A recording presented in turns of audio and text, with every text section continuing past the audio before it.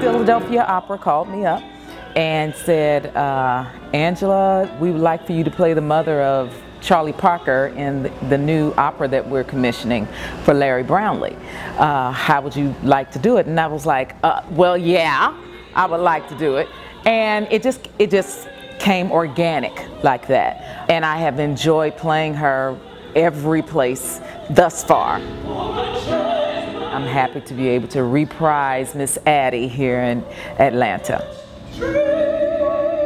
Miss Addie, the easiest part of her is her persona. I had a lot of strong women in my life and I believe that I'm a strong woman and I can just imagine how she felt seeing her child go through all these changes. She is definitely someone that loves hard and as far as the music is concerned, did some hard music cheering. Now I know I created sister, okay? I created her, but it's difficult music because it's just all over the board. It's it's low lows and high highs and and and siren clarion calls and you know so she has to be set to her paces through through the evening.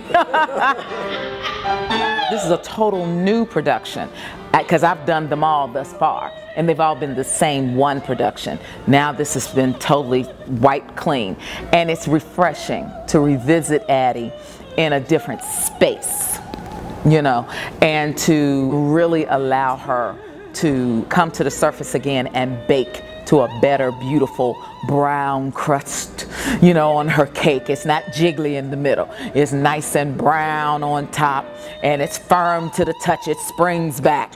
So she is able to fly more, I feel. So it's it's been nice to be able to do this and it to be realized in a different way.